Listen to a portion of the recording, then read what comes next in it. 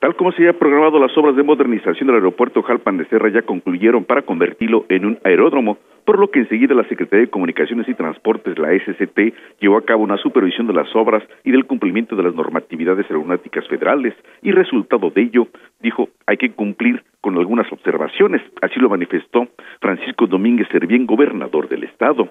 En el marco del segundo día de una intensa actividad de trabajo por la zona serrana en la presa de Jalpan, durante la entrega de la segunda etapa del malecón, dijo que dentro de un mes ya estará en operación el aeródromo para el municipio de Jalpan de Serra. Está totalmente terminado el aeródromo. Eh, antier vinieron a hacer eh, observaciones.